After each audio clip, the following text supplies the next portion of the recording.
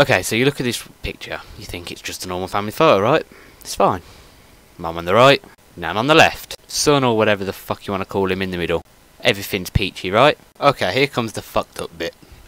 You guessed it, kids. He's having it off with the old lady, the sick cunt. Yeah. Okay, right. He's 31. His mum's 50. His girlfriend, 91.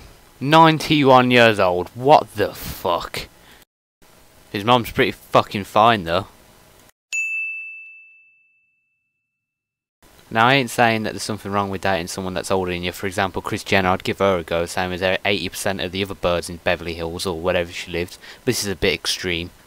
Could you imagine how he finds these women? Instead of going to a, a, nightclub or something like any normal person would to get girls, he's going to some sort of pensioner home. Man, that's fucking grim.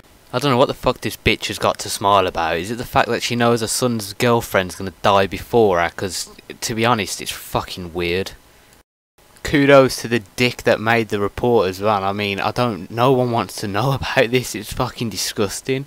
Thanks, Dave Revan, or whatever fuck your name is, you cunt. There was a few headlines on the story as well, like she dresses up in sexy. Oh, I can't even. Mate, it's fucking disgusting. And then I had pictures in my head, and then it was even worse. And I just wanted to fucking email the report or something, because how is that news? Like, there's all sorts of other shit going on in the world, and he decides to report on some fucking weirdo dating a pensioner. Like, I just don't see the logic. Oh god, the, the geezer's a fucking cunt.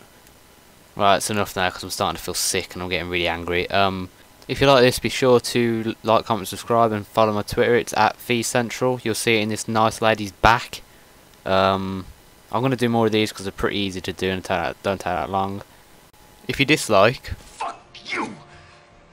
eyebrows.